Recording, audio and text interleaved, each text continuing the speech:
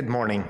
I'm Robert Justice, and welcome to this service of First Presbyterian Church in Salina, Kansas. We're glad for all of you joining in this service electronically, whether you're listening to the radio broadcast on KINA 910 AM, 107.5 FM, or watching our online video stream via Facebook or the YouTube. If you would like a copy of the bulletin to follow along with, you may find it at either the church's Facebook page or at our website, fpcsalina.org. And now, let us pray. This is the prayer for the day. O blessed Trinity, in whom we know the maker of all things seen and unseen, the Savior of all, both near and far, by your Spirit enable us to worship your divine majesty so that with all the company of heaven we may magnify your glorious name, saying, Holy, holy, holy, glory to you, O Lord Most High. Amen.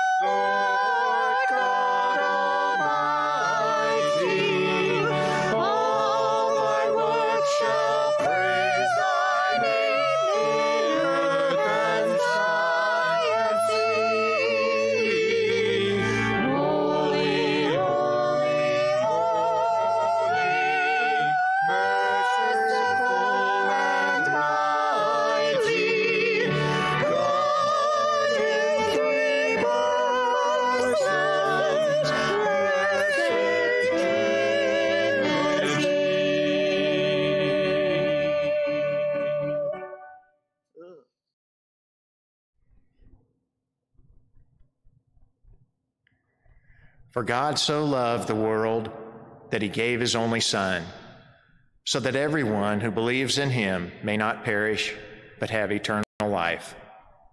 Trusting in God's grace, hear this prayer of confession.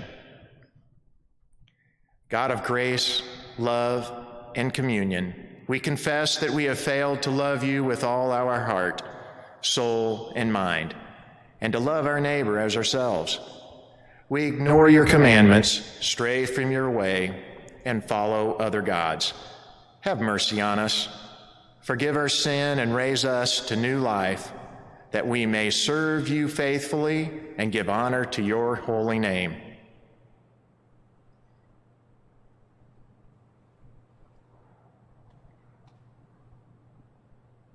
God did not send the Son to condemn the world, but in order that the world might be saved through him. In the name of Jesus Christ, we are forgiven. Thanks be to God.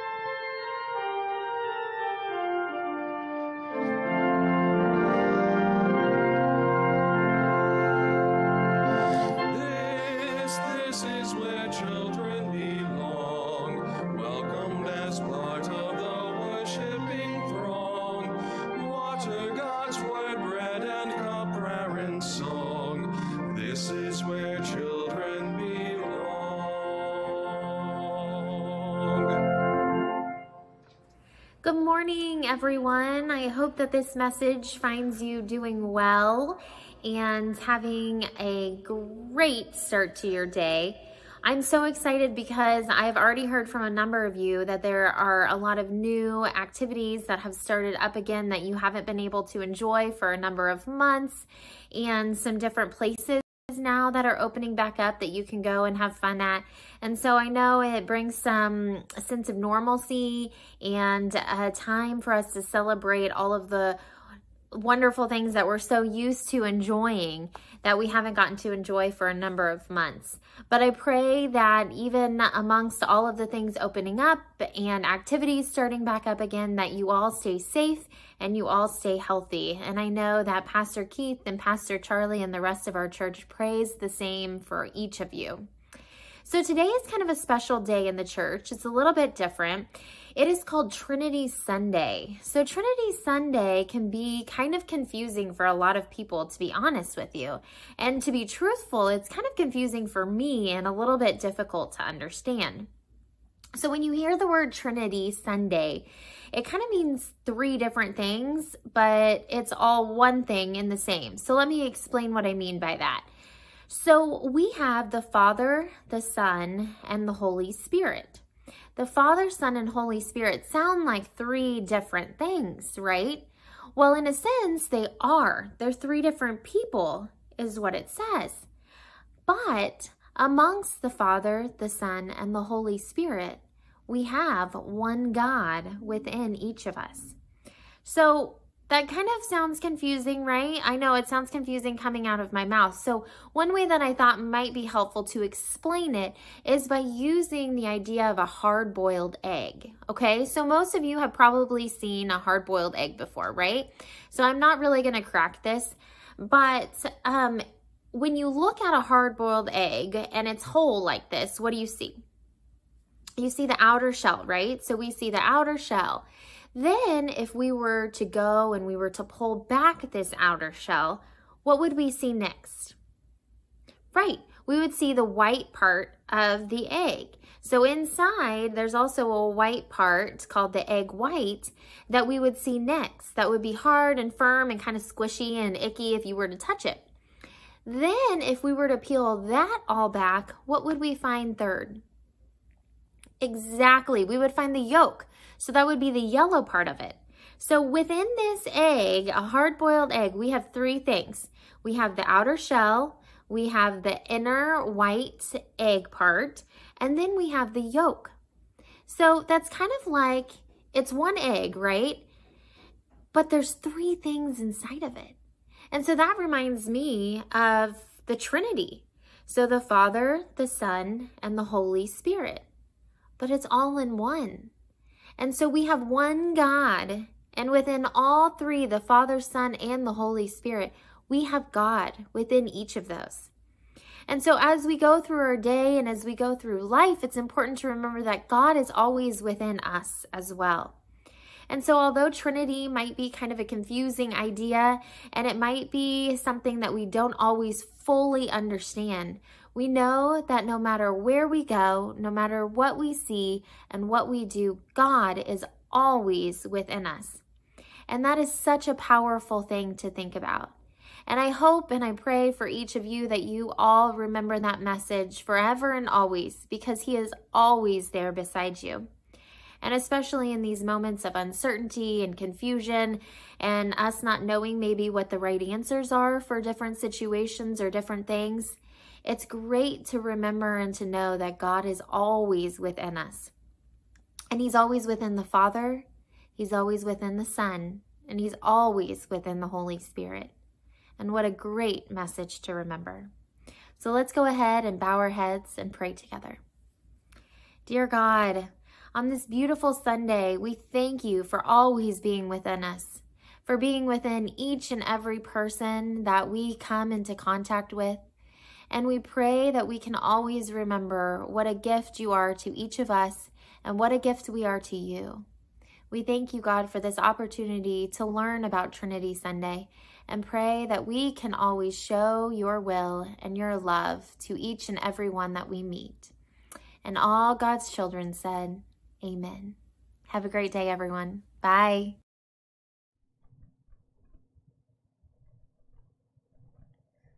Let us pray. Holy, holy, holy one, guide us by the Spirit of truth to hear the word of life you speak and to give all glory, honor, and praise to your threefold name. Through Jesus Christ our Lord. Amen. Our scripture reading today is from 2 Corinthians chapter 13 verses 11 through 13. Finally, brothers and sisters, farewell. Put things in order, listen to my appeal, agree with one another, live in peace, and the God of love and peace will be with you. Greet one another with a holy kiss. All the saints greet you. The grace of the Lord Jesus Christ, the love of God, and the communion of the Holy Spirit be with all of you. This is the word of the Lord. Thanks be to God.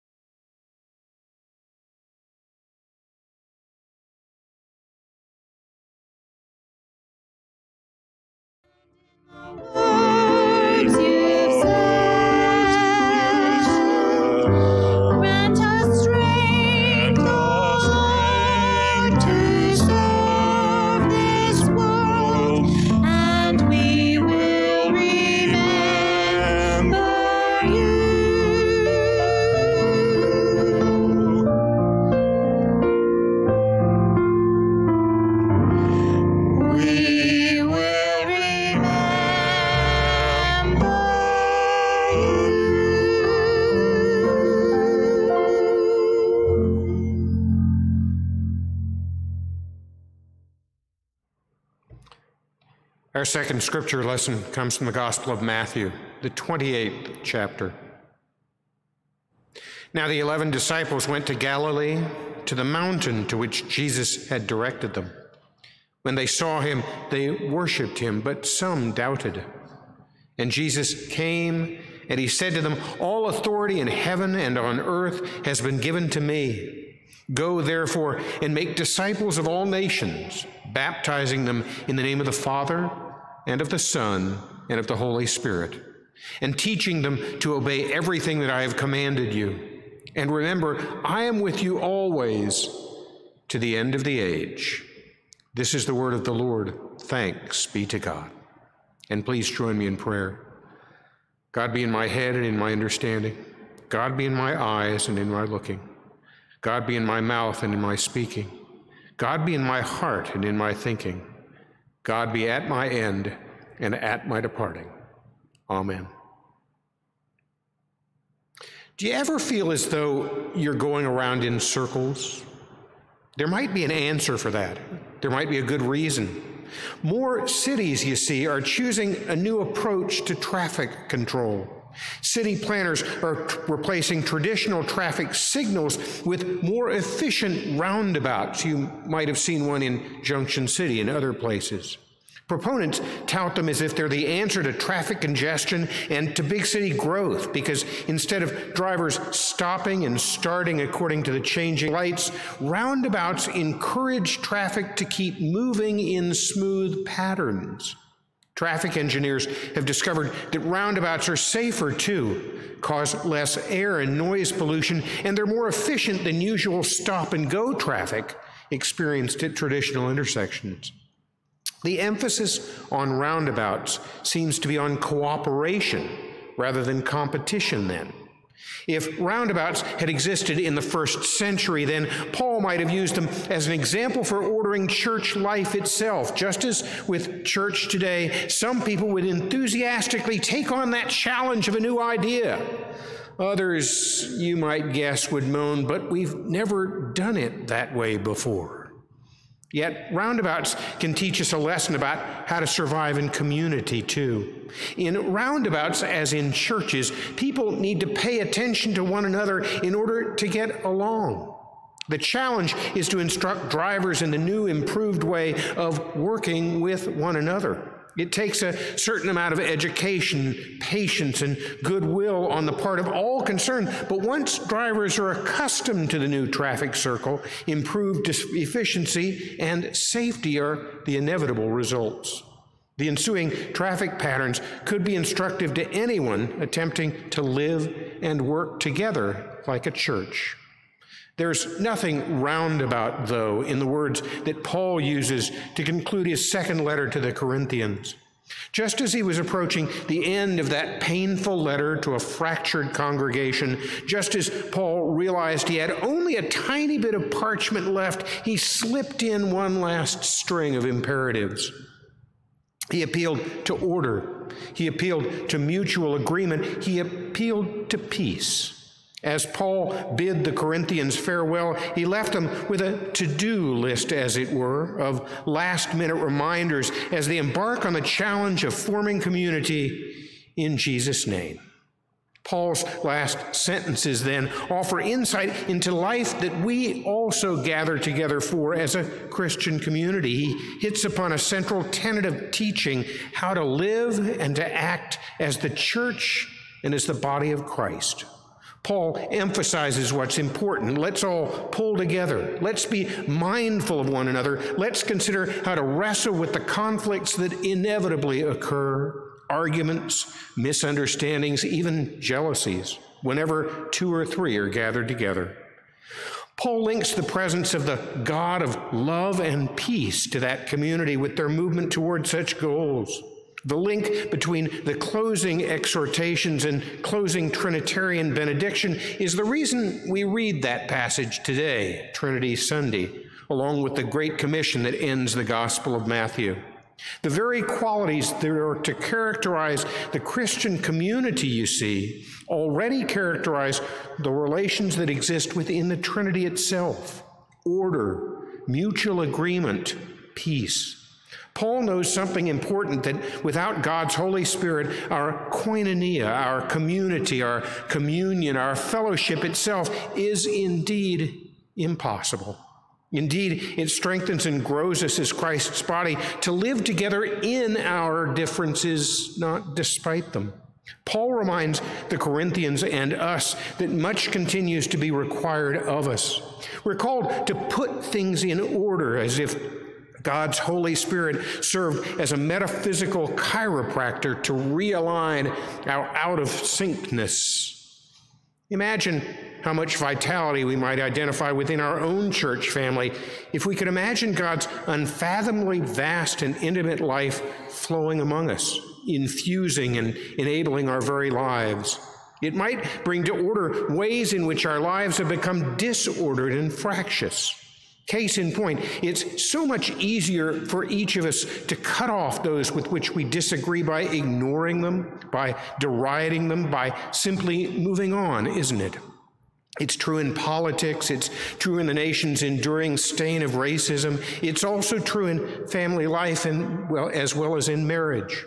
We go quickly to where we think our best advantages lie, and remaining in the field to rumble it out with someone, being vulnerable to, be, uh, to beyond either or binary cho- choice learning that may challenge us or even hurt us, seems a quaint, old fashioned notion these days, doesn't it?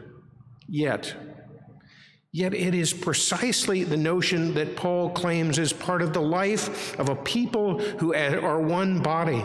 It's in such a life that we find ourselves realigned as one body, sharing the peace of God. It takes continual practice, friends. It takes continual practice for each new truth that we learn opens us up more and more to learn more. God casts a much bigger net of love than any of us can spread out on our own.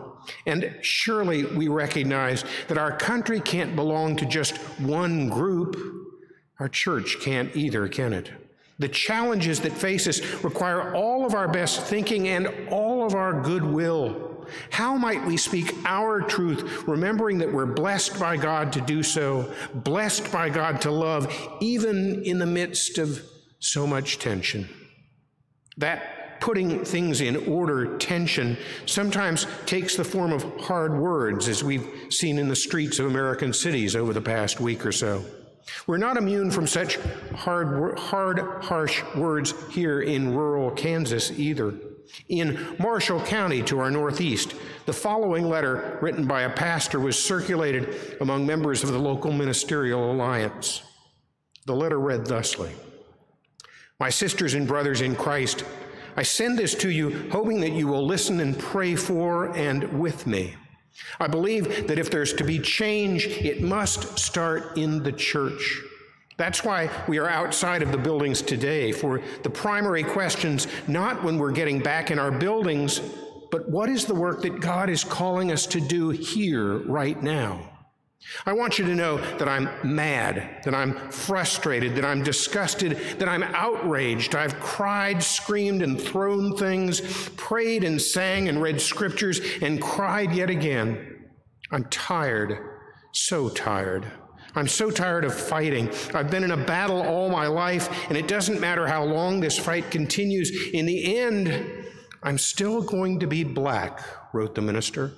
Yes, I am black. The fight is against the black folks. It's against injustice and inequality in the lives of black folk. As a mother, as a grandmother, as a great grandmother, as an aunt, cousin, and friend, I have black male folks that I love, and I want to keep them breathing until God calls them home.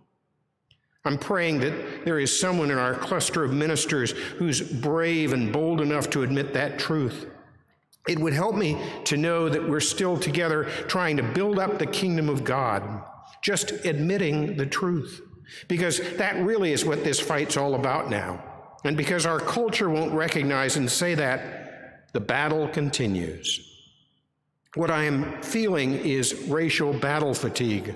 I'm exposed daily to the battle of the chronic racial discrimination of a black person being part of a predominantly white organization, town, and society. And each day, some little hint is dropped to remind me of my place. I'm a child of God. I'm an American. I'm also a descendant of the transatlantic slave trade. I have no reason to go to Africa, for this is my home. My descendants built this country. I'm part of the American dream. I've never known a day when America was great.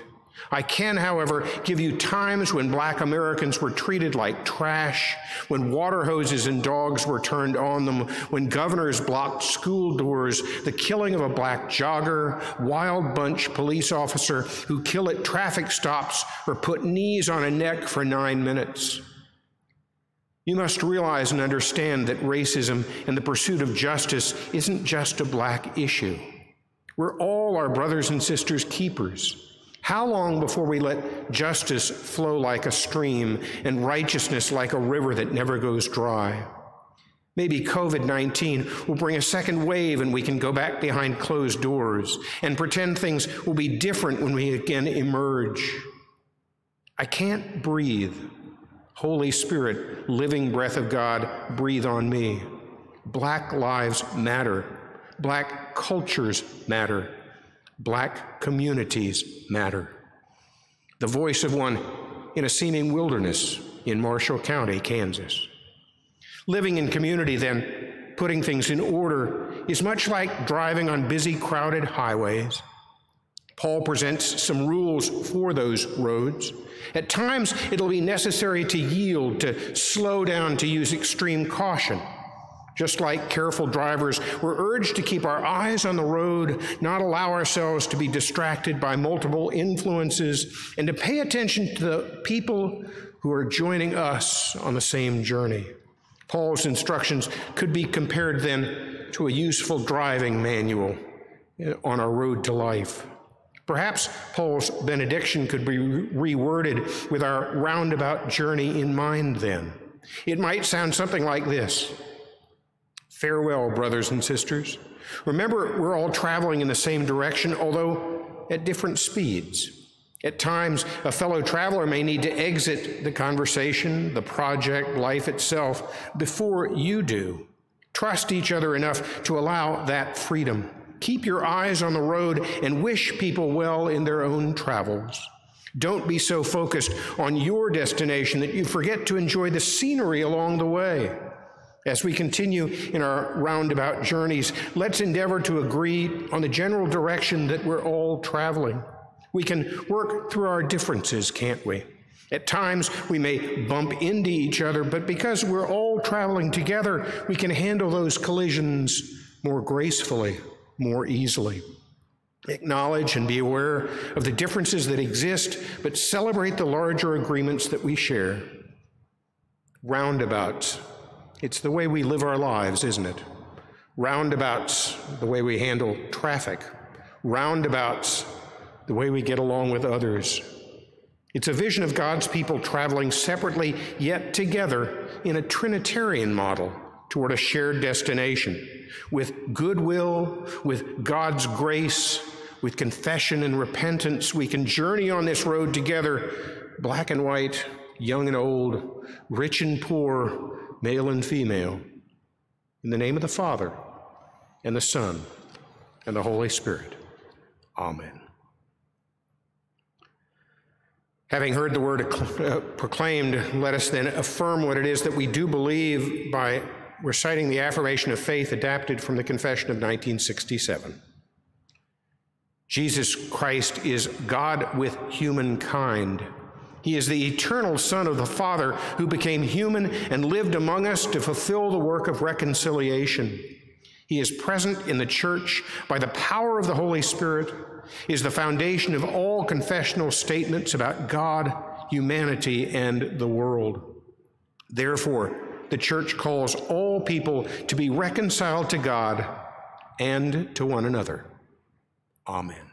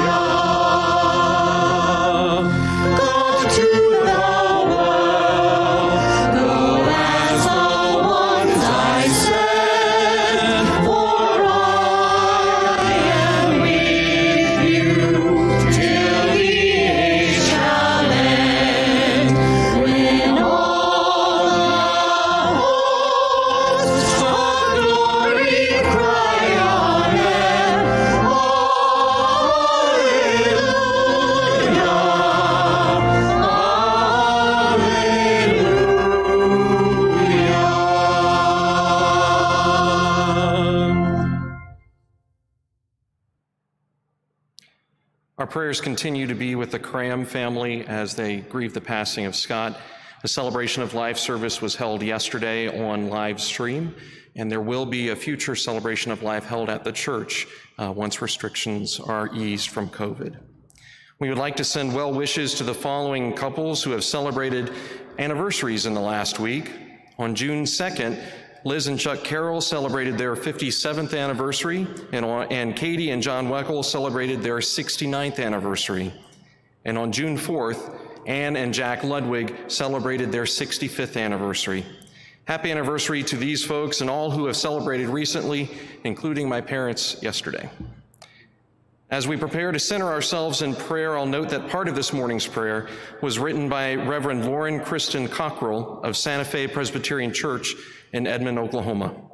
Let us pray. Holy God, one in three and three in one, hear us as we pray for your blessing, saying, Holy Triune God, have mercy upon us. Let us pray for the needs of the church, the whole human family, and all the world, saying, Holy Triune God, have mercy upon us that churches of all traditions may discover their unity in Christ and exercise their gifts in service of all, we pray to you, saying, Holy Triune God, have mercy upon us.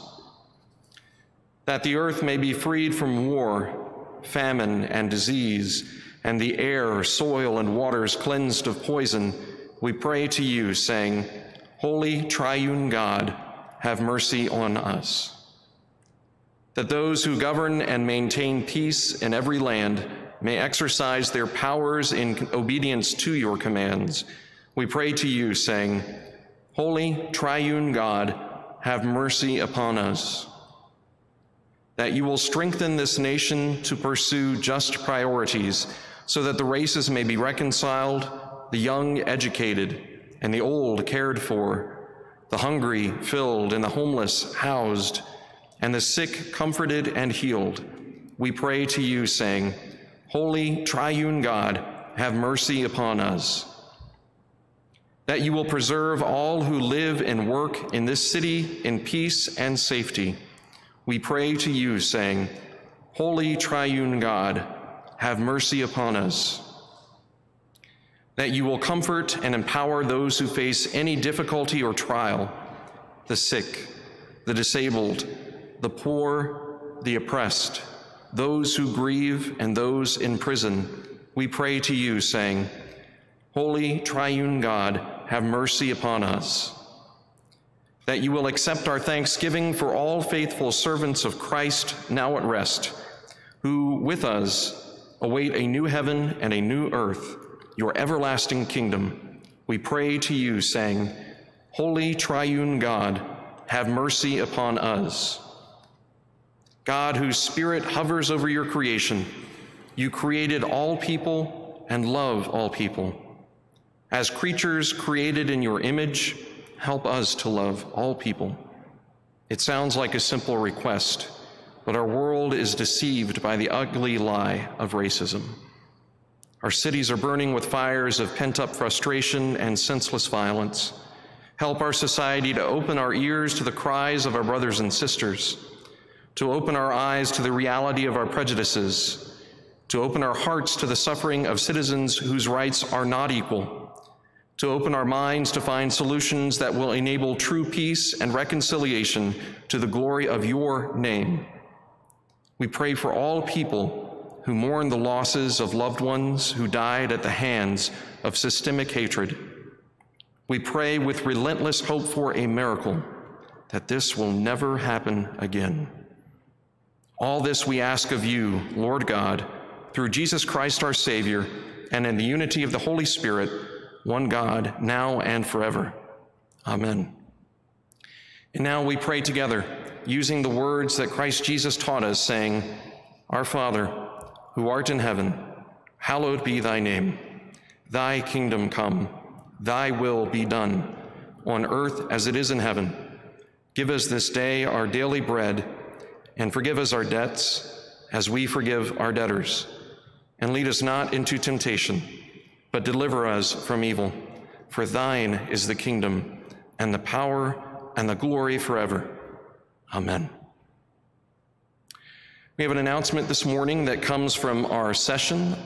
It reads The FPC session has scheduled a congregational meeting on June the 21st, 2020, for the purpose of approving a request to the Presbytery of Northern Kansas to, to dissolve the pastoral relationship between the Reverend Dr. Charles Carroll Smith and First Presbyterian Church of Salina. The electronic congregational meeting, which will be conducted via Zoom, will begin at 11:15 a.m. following the worship service that day. A link for the Zoom congregational meeting will be sent to all FPC members. Instructions for how to take part and vote in a Zoom meeting can be provided to members upon request. Reverend Smith's last Sunday in the FPC pulpit will be June the 28th. He's accepted a call as interim presbytery pastor for Indian Nations Presbytery based in Oklahoma City, Oklahoma, beginning August 1st. I'll note that our congregation has far exceeded our goal for Project Salina. The exact numbers are still being tabulated as mail in donations come in. You can expect an announcement of the amount raised in the near future, but we want to give a special thanks to everyone who donated to Project Salina to help combat hunger in our city. And we invite you to support the ministry of First Presbyterian Church, and there are four ways that you can do this. You can mail your donation to P.O. Box 585, Salina, Kansas 67402. Again, that's P.O. Box 585, Salina, Kansas 67402. You can also give on our website, fpcsalina.org, on the Give tab. Again, that's fpcsalina.org on the Give tab. You can text your offering as well. Simply text the word give or a dollar amount to 785 329 9830. Again, you can text the word give or a dollar amount to 785 329 9830. And finally, you can download the Church by Ministry One app and search for us there. Again, the app is called Church by Ministry One, where Ministry One is one word. How does God's love abide in anyone who has the world's goods, yet refuses to help a sibling in need? Remembering God's great love for the world, let us offer our lives to the Lord.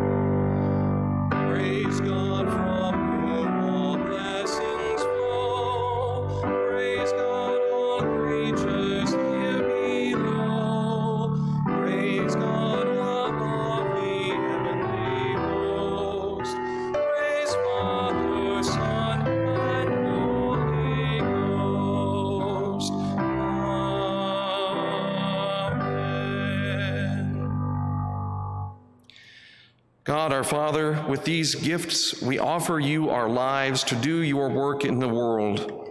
Take our bodies and our minds, our work and our leisure, our relationships with other people, our friendships and our family life, our dreams and our doubts, our faith and our plans for the future. In the name of Jesus Christ our Lord, we bring them to you. Amen. And before our last song this morning, I'd like to thank Glen Stovall, Marianne Weiner, and Britton Zuccarelli for sharing their musical gifts with us this morning, of course, along with Angie and Richard Koshgarian. Our last song is We Shall Overcome.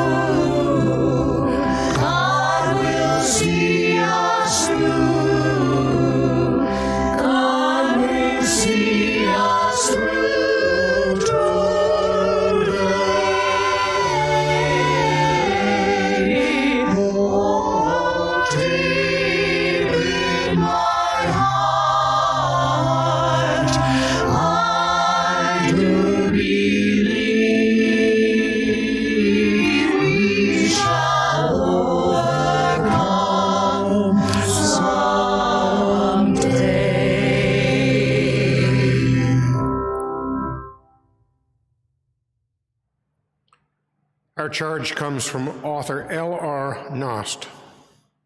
Do not be dismayed by the brokenness of the world. All things break, and all things can be mended, not with time, as they say, but with intention.